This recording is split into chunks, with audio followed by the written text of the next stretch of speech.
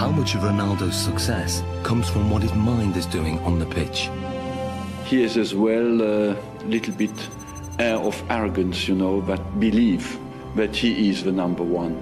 First, it comes from the fact that you know you can. Deeply inside himself, he knows that if he wants, he can pass anybody.